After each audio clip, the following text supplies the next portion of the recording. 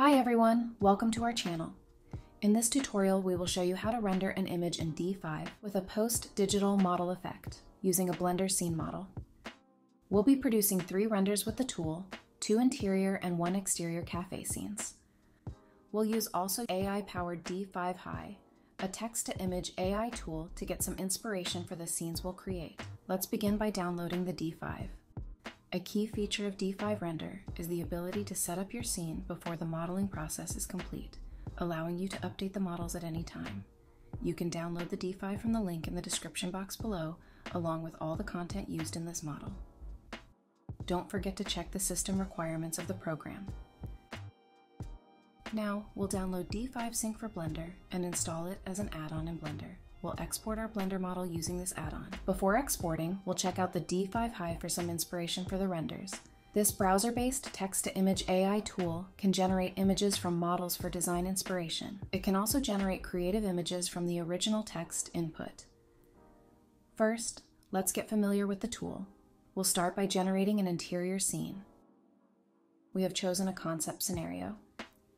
In the concept section, you can select the keywords and further describe them. You can add or exclude specific words on the right side. You can choose the keywords for the image from the panel, then proceed to write in the text section. In the exclusion section, you can specify elements that you don't want to include in the image. Three outputs would be enough for us. We'll select the creative option which will generate three visuals.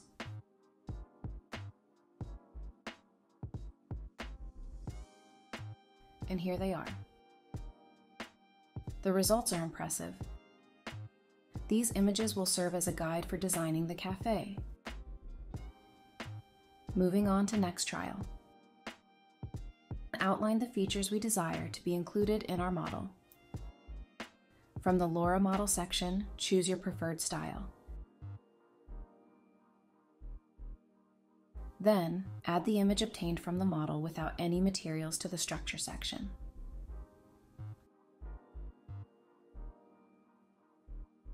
Three outputs would be enough for us. Select Accurate to ensure the model's suitability.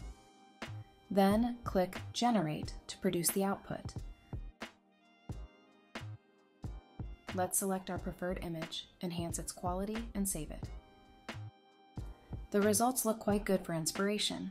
We can use them as a starting point for the architectural visualizations we'll prepare. We will create renders from the Blender scene which will include one exterior and two interior settings. We'll export the model with the D5 Sync add-on we've downloaded earlier. You can access them in the Add-ons panel.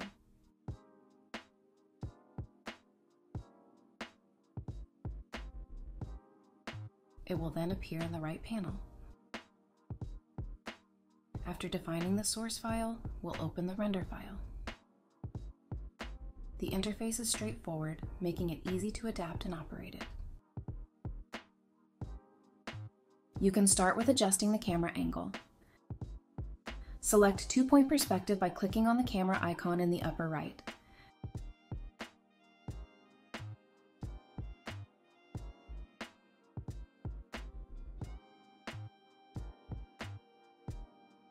After deciding on the angle, capture the scene and its features starting from the upper left. You can quickly navigate to the recorded angle using the left panel. Let's save this file on the computer. You can adjust settings from the panel in the upper right where all camera settings are located. Let's use the grid and walk feature.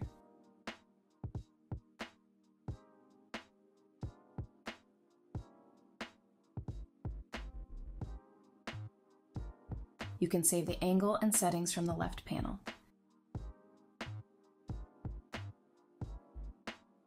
Next, we'll experiment with the ambient light settings. The default section provides daylight. Additionally, you can customize what is referred to as high dynamic range image ready scene lights to suit your specific scene. We'll go ahead and test high dynamic range image on the computer. The first one didn't match the scene's concept, so we'll try a different scene and lighting.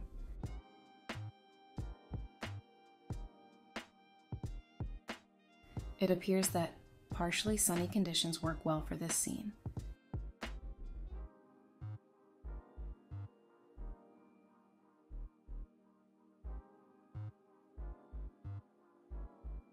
You can modify all the sun attributes from this panel. You can include weather conditions from here as well.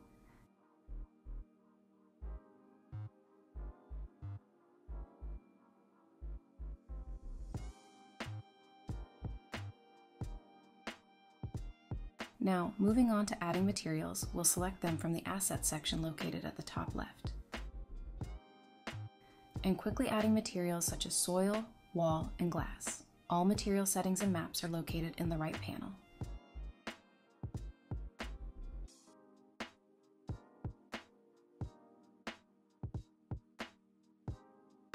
For instance, let's adjust the scale.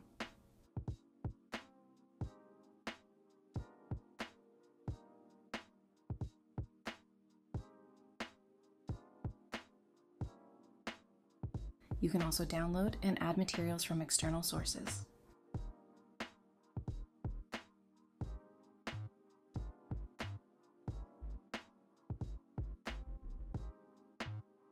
Now we'll reshoot the scene, adding a material that illuminates the lamps. We'll use the emission feature for that.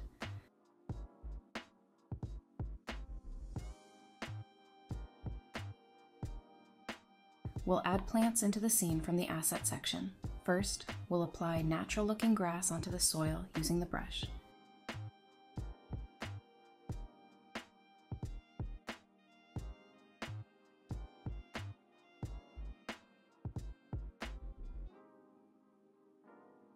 You can always use a eraser tool to remove some of the parts.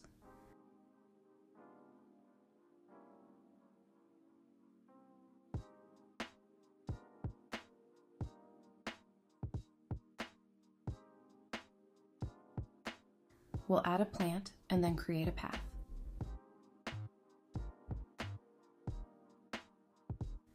From the right panel, you can modify all its attributes, such as number and scale.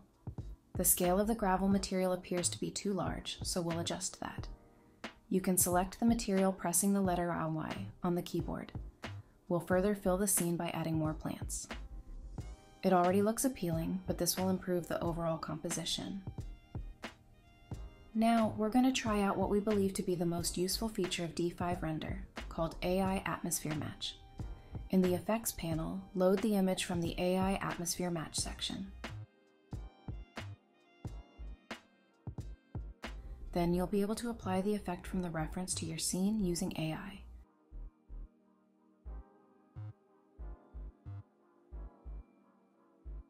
By adjusting daylight to fit this effect, we'll get the result we're looking for.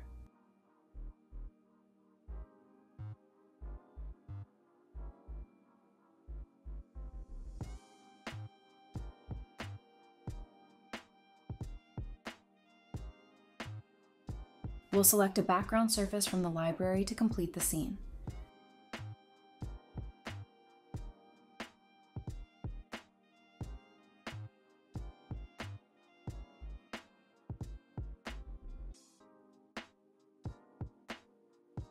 Before rendering the interior, we'll first navigate inside the cafe in the model file.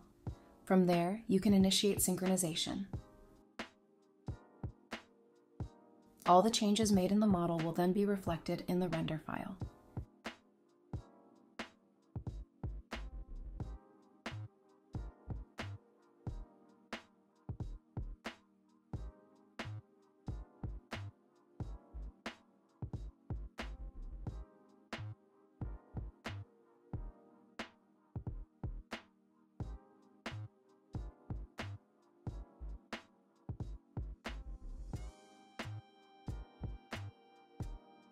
This camera angle is working great for the interior, providing a view that overlooks the inner courtyard.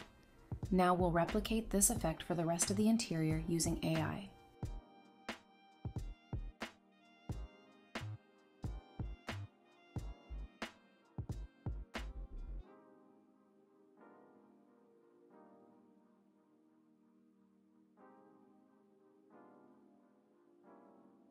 We'll complete the first interior visualization by fine-tuning the effects in daylight.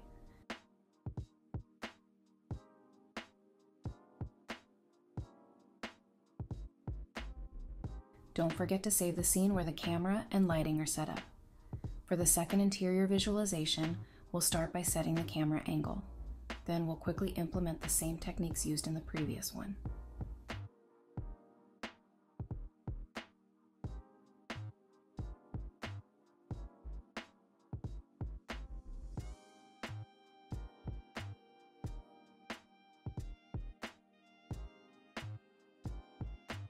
And that's all.